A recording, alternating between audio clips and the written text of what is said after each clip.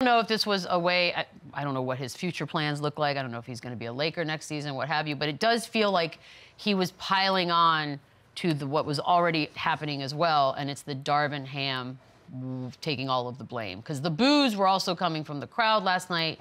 There was a chant, "Fire Darvin," which you know that's fun to hear when you're at home, I'm sure. And then you got a player down there Sick eating. home court advantage. Yeah, it's just it's all of it is just all painting the picture that perhaps Saturday will be Darvin Ham's last game coaching the Lakers. Yes or no?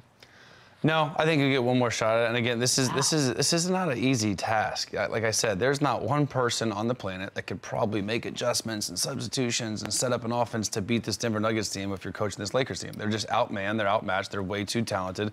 And, and this is it's not fair to be booing him at home. Again, there are high expectations when you're the coach of the Lakers, and there's even higher expectations when you're coaching LeBron James. So there is pressure to win, and when you're not winning and you're getting your shit kicked in at home and you're losing, yes. Wait a minute, I have a question. have a question. Me. Because would you say that the Boston Celtics talent is far greater than what the Heat is putting on the floor right now?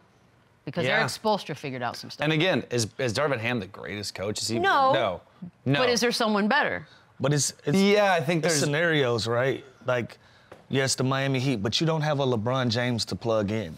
You know what I'm saying? You don't have That's- an Anthony Davis to plug big in. pieces. You have to right. So Miami played completely different when LeBron was there. You had to adjust to. You had to. You didn't put in a system for them.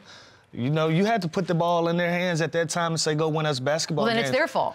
Yeah. It's got to be somebody's fault. Uh, and listen, shouldn't the and Lakers- can't they, Can't they they- can't fire a coach every season. I mean, But shouldn't they find their Spoelstra? Shouldn't they find that their guy and have their? Who's I their video coordinator? Let's start there.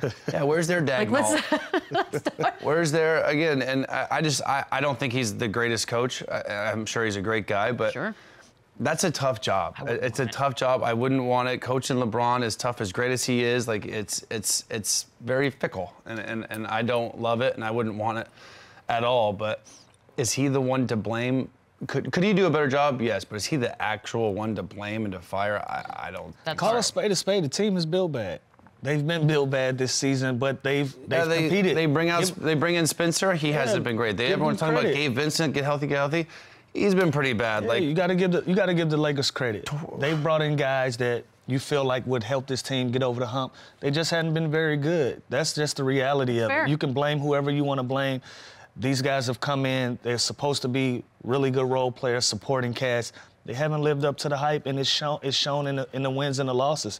But give the Lakers credit. They've competed. They put themselves in a position to even be here in the first round in the first place for a team that was teetering around nine or ten finished the season at seven. Now you you've run into the big bad big bad wolf. They've had your number way before this, so we can blame a lot of people. We just we knew it before this e- series even started. It was a bad matchup for them. yeah. But a sweep is. You know, Taurean Prince had their only bench points until last night. Like that. Like, Jeez, come Like on. you- that's That's Darvin Ham's fault? Ham That's can't not coach Darvin that. Ham's fault. He can't coach that. Um, the other game, the big, well, there were actually two other games. That was disrespectful.